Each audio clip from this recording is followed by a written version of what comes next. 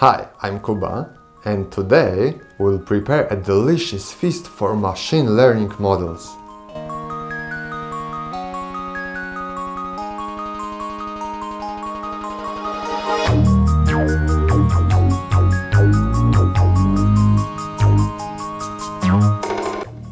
The feature store is another very important component of machine learning solutions. It is a layer between various datasets, for example, databases, streams, and the model itself. Additionally, it keeps the model training data and online inference data consistency. In today's episode, I will show a complete solution based on the open source feature store Feast.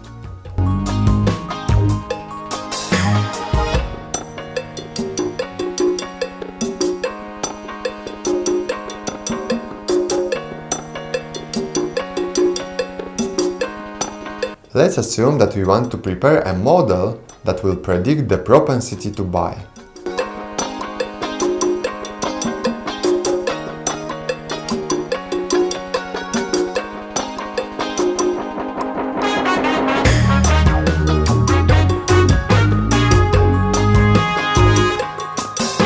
Our main workspace will be Jupyter Notebook.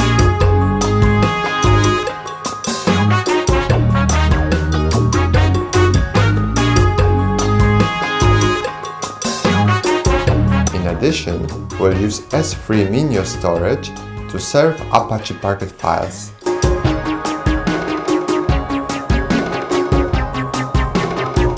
At Minio, we'll also keep the Feast feature store schema.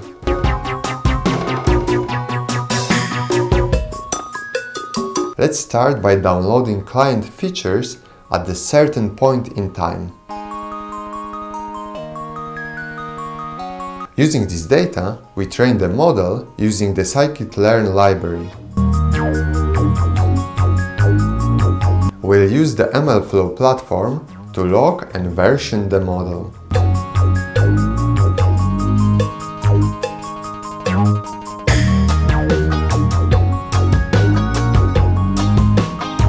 In addition, we'll define which features needed for prediction will come from the online feature store and which from the model request. In MLflow, we can mark which version of the model will be production.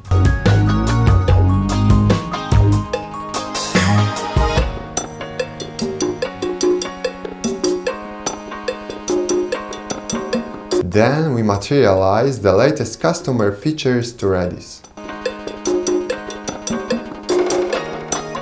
Now we want to deploy the MLflow model as a microservice. Based on the configuration, MLflow will download the model version currently set as a production from Minio. He will also use the Feast schema, which he will also download from Minio. With each HTTP call, the model will use the client's features from Redis and from the request and generate a prediction.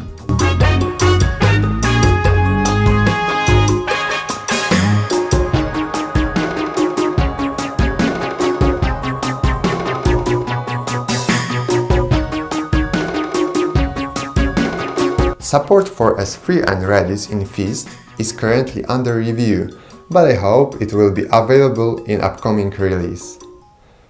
That's it for today's episode. If you like it, subscribe to the channel and follow my blog. Thanks for watching. Bye.